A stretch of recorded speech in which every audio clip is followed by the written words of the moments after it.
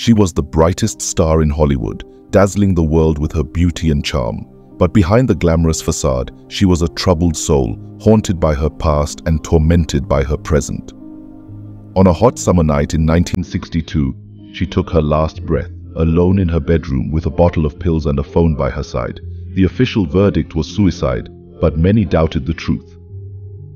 Who killed Marilyn Monroe? And what secrets did she take to her grave? In this video, we will take you on a journey into the dark and mysterious circumstances surrounding the death of Marilyn Monroe, one of the most iconic and enigmatic figures of the 20th century. Marilyn Monroe was born Norma Jean Mortensen in Los Angeles on June 1, 1926. Her mother was emotionally unstable and frequently confined to an asylum, so Norma Jean was reared by a succession of foster parents and in an orphanage. At the age of 16, she married a fellow worker in an aircraft factory, but they divorced a few years later. She took up modeling in 1944 and in 1946 signed a short-term contract with 20th Century Fox, taking as her screen name Marilyn Monroe. She began to attract attention as an actress in 1950 after appearing in minor roles in the The Asphalt Jungle and All About Eve.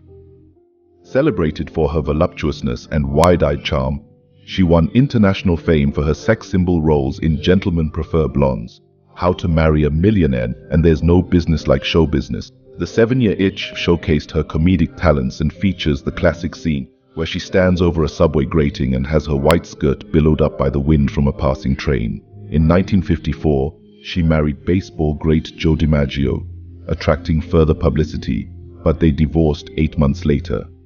In 1955, she studied with Lee Strasberg at the Actors Studio in New York City and subsequently gave a strong performance as a hapless entertainer in Bus Stop. In 1956, she married playwright Arthur Miller. She made The Prince and the Showgirl, a critical and commercial failure, with Laurence Olivier in 1957, but in 1959 gave an acclaimed performance in the hit comedy Some Like It Hot. Her last role, in The Misfits 1961, was directed by John Huston and written by Miller, whom she divorced just one week before the film's opening. By 1961, Monroe, beset by depression, was under the constant care of a psychiatrist. She had suffered from mental illness and substance abuse for years, and she had not completed a film since The Misfits, which was a box office disappointment. Monroe had spent 1961 preoccupied with her various health problems and in April 1962 had begun filming Something's Got to Give for 20th Century Fox, but the studio fired her in early June.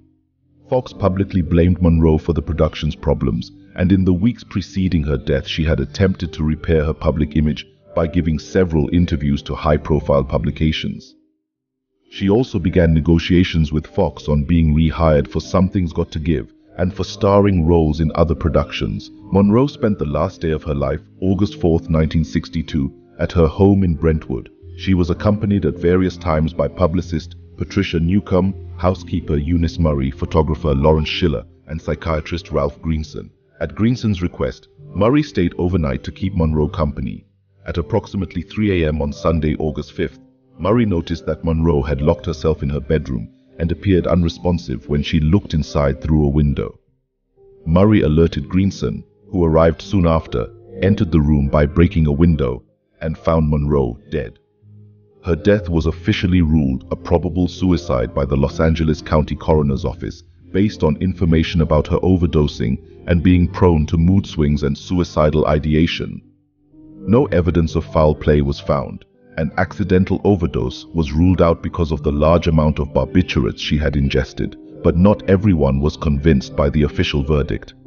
Some of Monroe's friends, colleagues and fans suspected that there was more to the story than a simple suicide.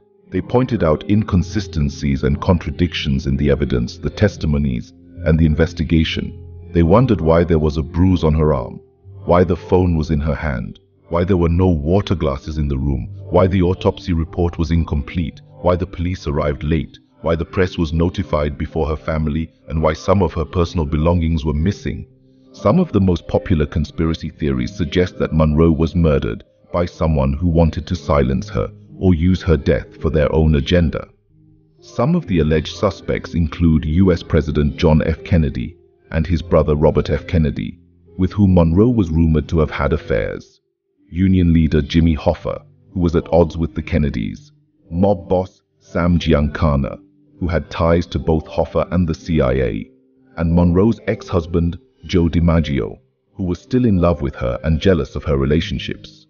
Some of these theories claim that Monroe was killed by a lethal injection, a poisoned enema, or a staged overdose, and that her death was covered up by corrupt officials, agents, or doctors. Of course, these theories are not universally accepted, and many experts and historians have debunked them or challenged their plausibility. They argue that there is no conclusive evidence or credible witnesses to support the murder claims, and that the inconsistencies and contradictions can be explained by human error miscommunication, or speculation.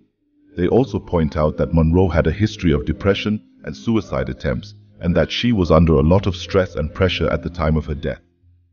They suggest that Monroe's death was a tragic but not a mysterious outcome of her troubled life.